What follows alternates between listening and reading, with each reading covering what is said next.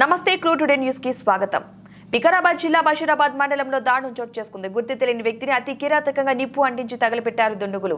ఈ సంఘటన స్థలానికి చేరుకున్నారు పోలీసులు. కేసు నమోదు చేసుకుని దర్యాప్తు చేస్తున్నారు ఎస్ఐ విద్యాచరణ్ రెడ్డి.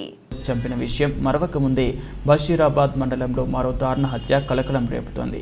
మండల ప్రజలంతా అయోమయంలో ఉన్నారు. కర్ణాటక తెలంగాణ సరిహద్దు ప్రాంతాల్లో మృతదేహాన్ని తగలబెట్టిన గుర్తు తెలియని దుండగులు సంఘటనా స్థలానికి పోలీసులు చేరుకున్నారు. పూర్తి వివరాలు తెలియాల్సి ఉంది.